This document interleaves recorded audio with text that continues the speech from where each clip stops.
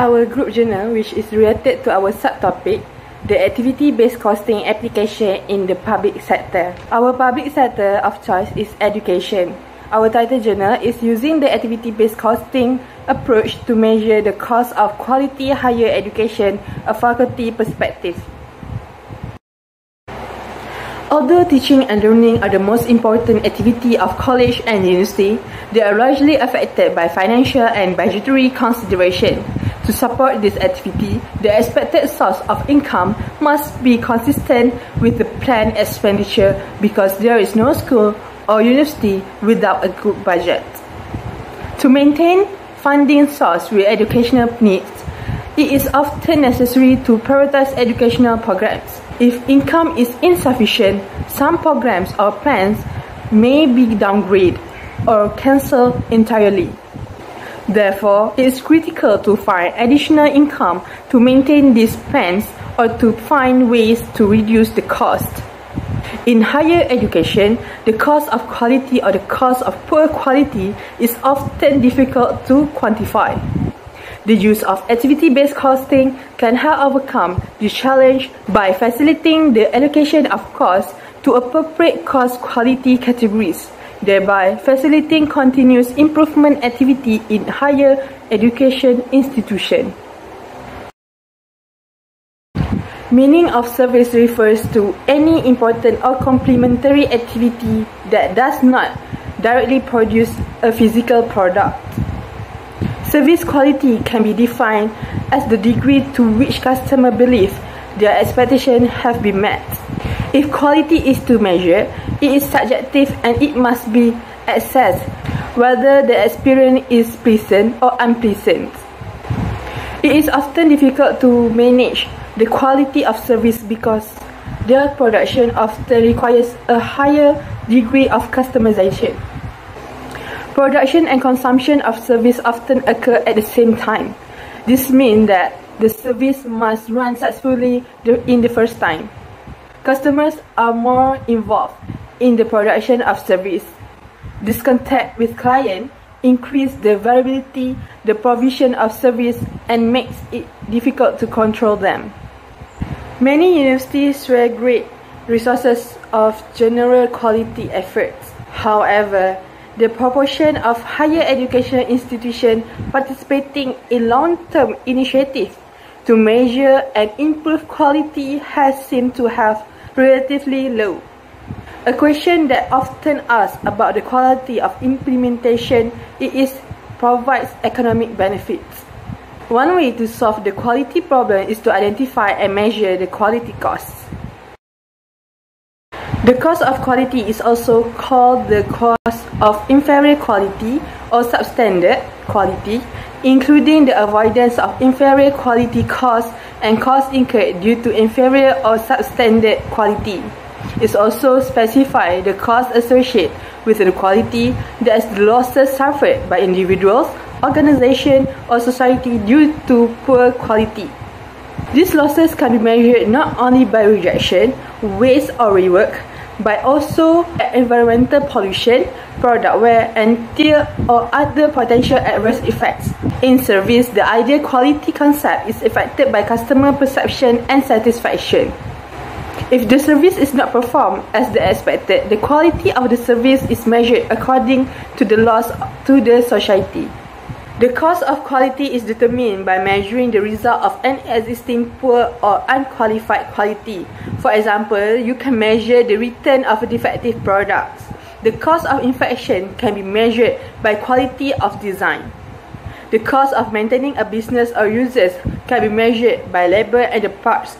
Production line downtime can be measured too. You can measure the losses of customers due to poor service quality. You can calculate the investment cost of failure prevention. The results of the Six Sigma plan can be compared with the process that does not use the Six Sigma. The benefits after ISO certification can be compared with the benefits before certification. The cost of quality plans can be compared with the income and return on investment over a period of time before the implementation of this quality plan. The cause of low quality decision can be measured in terms of the human suffering they cause. Next, I will continue with quality cost classification in manufacturing and services, which is broken down into four different components. The first is prevention costs. They are associated with preventing defects and imperfections from occurring. Considered as investment made to keep appraisal or detection and failure costs to a minimum, that is to ultimately reduce the other two quality cost categories. It is they are associated with such activities such as quality training, quality planning, process engineering, supplier reviews, statistical process control, and corrective action. Second one is appraisal or detection cost.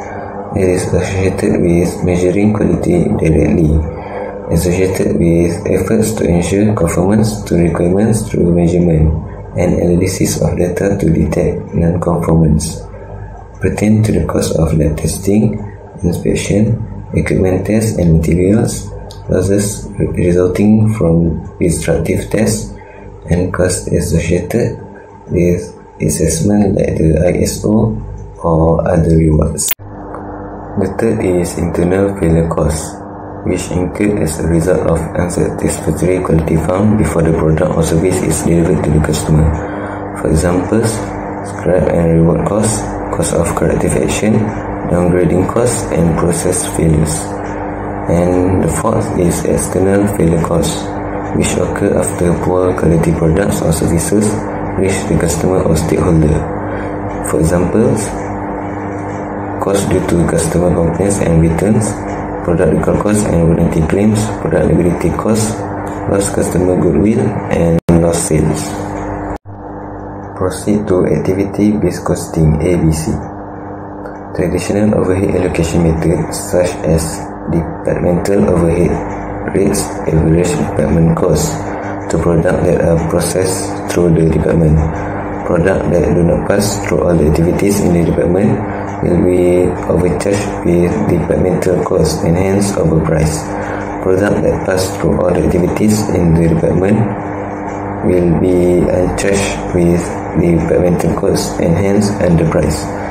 So these errors may lead to loss in competitiveness and losses in revenue due to underpricing.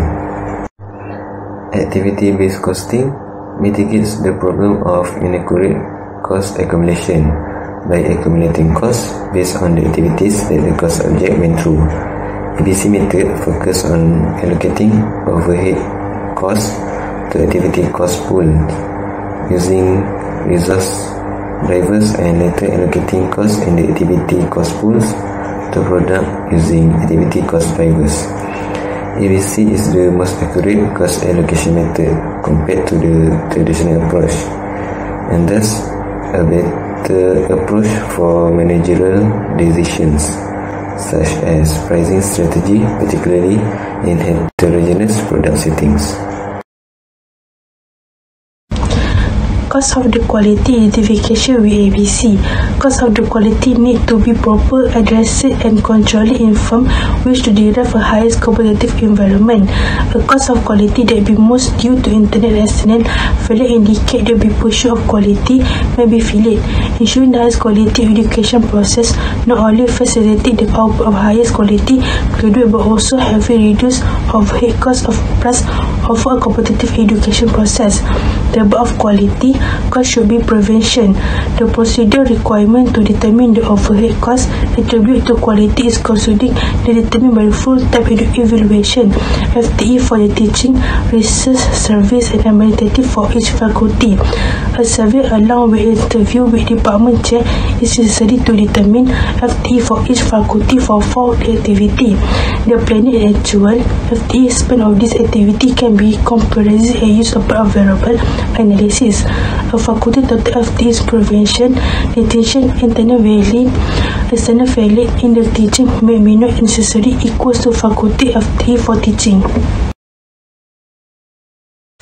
Next, the cost of the quality for teaching activity using ABC.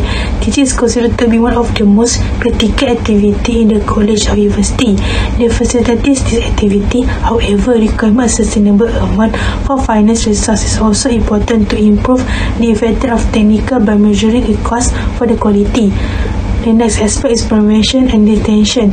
Faculty needs to estimate the time requirement designing a course and prepare for the class at the beginning of the school year.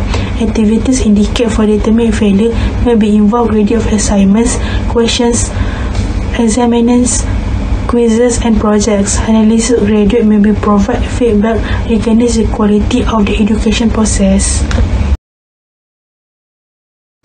Next, internal failure. We define internal failure as a failure of individual faculty in delivery highest quality of education process. Negative deviation from the estimate cost in rule adjust for the tolerant deviation is assumed to be the consequence of internal failure. The next challenge is to express the decline in the student enrollment for the environment due to internal failure into the monetary terms. To calculate the cost of internal failure, the FTE for internal failure will be then multiplied by the faculty's salary rate per hour. The FTE per student will be different in two semesters. In the case, the different number of students are enrolled in the course taught at average should be computed. First alternative, determine alternative internal failure caused by estimate the FTE per student for the faculty teaching for the course. Second alternative, consider the loss of tuition because of the decline in the student enrolled and the internal failure cost. Lastly, external failure. We define external failure as conversion of quality failure that before is beyond causes taught by the faculty. A statistical estimation technique may be based on historical department. Improvement may be used to estimate normal environment adjust for the estimation error. Any negative deviation in the department actual enrollment from the estimate assumed to be due to external failure. Two approach could be used to estimate external failure cost. First approach, calculate the external failure cost as the dollar value of FPT or the decline in the department enrollment. Second approach, calculate the external failure cost as the loss of income from the decline in the departmental enrollment. Hi, I'm going to present about cost of quality for research activities using ABC. Research activities facilitate discovery of new knowledge, theories, and applicability of theories. They also help improve the quality of faculties by increasing depth and breadth of their knowledge. That is hope to improve teaching. Overall, research activities also help higher education institutions to be more competitive. The objective of an institution of higher education to research is to ensure high quality research activities. There are two major sources of quality costs in research which is the cost of preventing and detecting and the cost arising from quality failure internally and externally. Prevention and detection of costs. Publication is an indication of quality research and be the goal of research activities. The objective of research is not fully met when it is without dissemination of research activities. Hence, manager and faculties need to design activities that prevent and detect failure as early as possible before it turn out to be internal or external failure. The key to prevent failure of research quality is by preparing and reviewing research proposal. To enable some budgeting of quality cost faculties need to estimate hours they plan to spend on proposal preparation and they also need to log hours spent on proposal preparation and review to enable measurement and reporting of prevention costs. On the other hand, the key to prevent detection activities is by milestones review and annual faculty activity report. For budgeting purposes, the hours spent to be spent on preparation of faculty activities report and review of research project milestone need to be documented, while measurement and reporting of detection costs require faculties to keep log of hours spent on faculty activities report preparation and review of research milestone. Internal failure costs Internal quality failure is defined as failure of faculties to meet research project goals. The challenge is to convert failure to meet goals into FTE. One way of converting internal failure is by determining the percentage of goal achievement. An achievement below 100% represent internal failure. FTE of internal failure is calculated by the difference between actual achievement and goals in percentage multiplied by the total hours used by the faculty for research activities.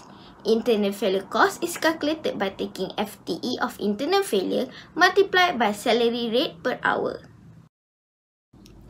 External failure cost is defined as failure to publish the result of research activities. A research project may take multiple years to accomplish and get published. Thus, only in the year of publication target will there be a measurement for external failure. Next, failure to publish is defined as the failure of the entire research work. This can be calculated as the entire research hours spent throughout the research project multiplied by salary rate per hour. Cost of quality for service activities using ABC. Besides from teaching and research activities, faculties are also required to provide services either to the community or to the university. Services to community can be defined in the form of voluntary works for non-profit organisation, while services to the university may be in the form of community memberships. Management needs to be able to quantify the cost of quality in service activities to enable proper measurement and reporting of cost of quality.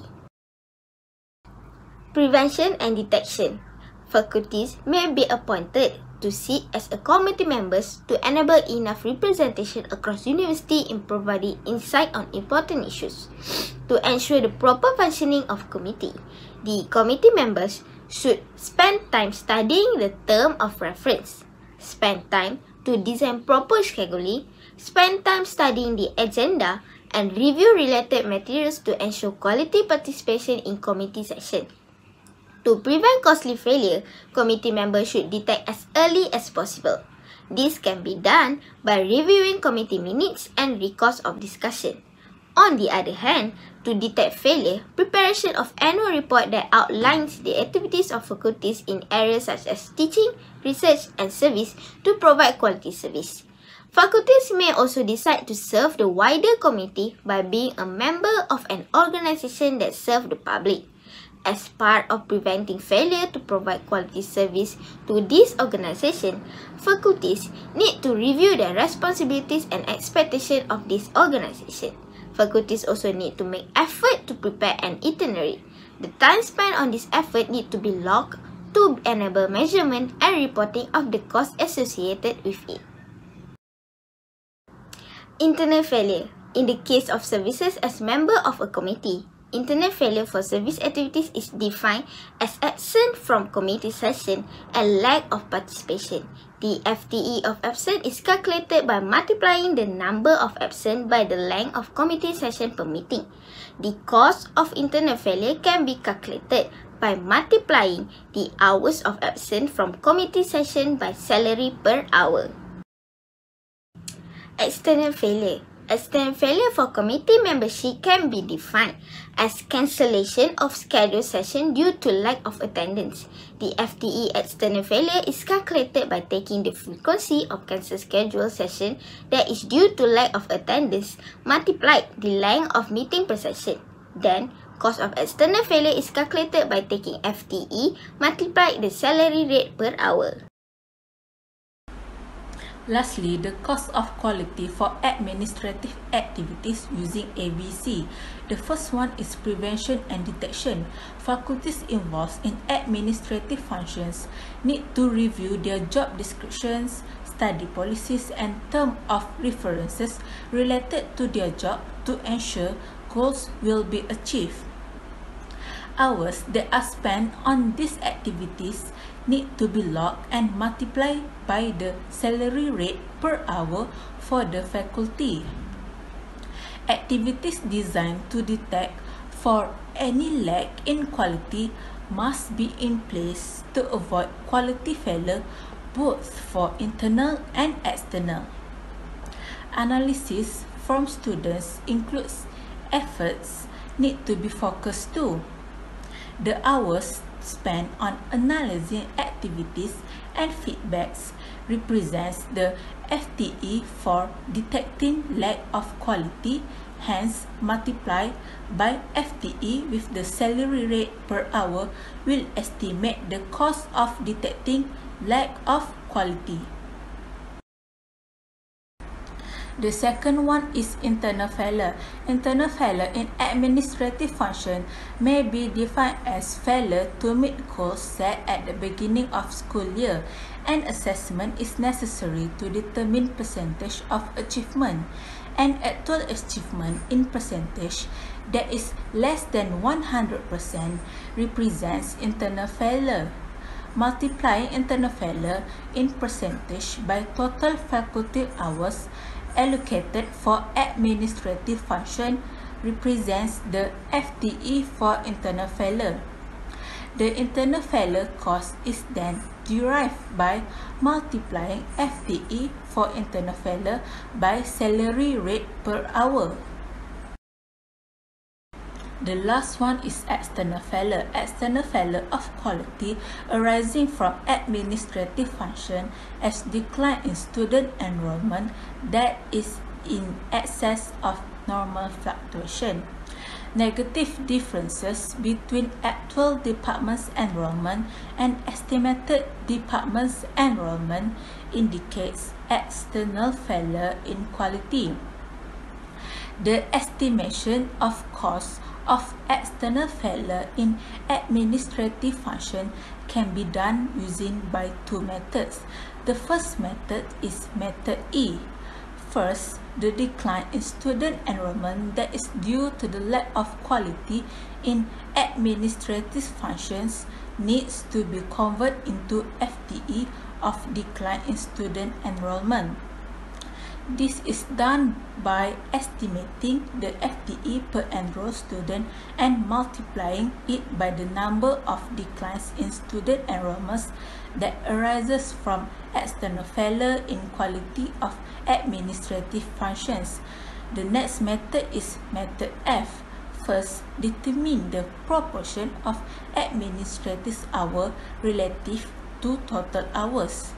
Second, determine the decline in external failure that is attributable to administrative functions by multiplying the proportion of administrative hours to decline in external failure that is attributable to administrative function.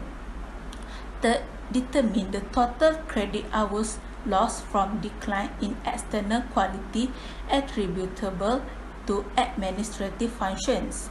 Finally, multiply the total credit hours lost due to the external quality by tuition per credit hour to estimate the cost of external quality. The conclusion is cost of quality in higher education such as prevention and detection, internal failure, external failure can be estimated using the activity-based costing model.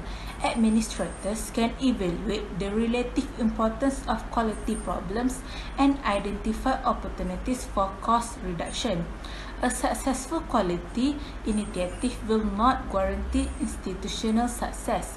Poor quality can eventually drive an institution to failure. It can also help to identify changes and improvement for an institution